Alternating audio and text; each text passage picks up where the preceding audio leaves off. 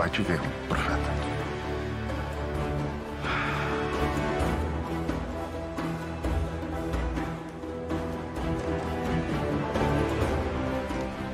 Entrega essa mensagem pro Joab.